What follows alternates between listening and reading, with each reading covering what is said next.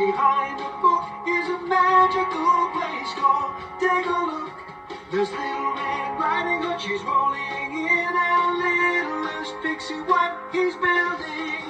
In Storybrook Village, live your fairy tale friends.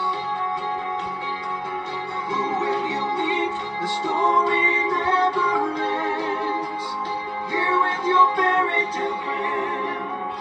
There's Princess Pea. She's having a ball and Whyatt Beanstalk. He's a friend to all. There's Jack and the Beanstalks, the three bears too. Cinderella, Sleeping Beauty, Peter Piper, Jill and you. In Storybrook